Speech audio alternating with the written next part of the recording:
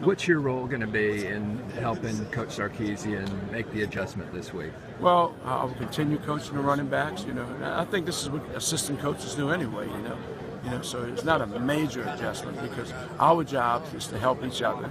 You know, whether it's an offensive coordinator, whether it's an O line coach, or whether it's a head coach. That's what we do. So we get caught up in that routine. So it's not that big of an adjustment for us.